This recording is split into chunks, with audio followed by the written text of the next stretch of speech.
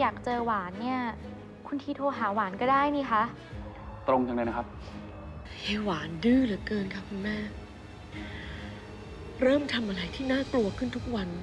ติ๋มเอาไม่อยู่ละปลูกอะไรก็ได้อย่างนั้น เป็นดาราดังสัเปล่า ไม่มีปัญญาหาผัวเอง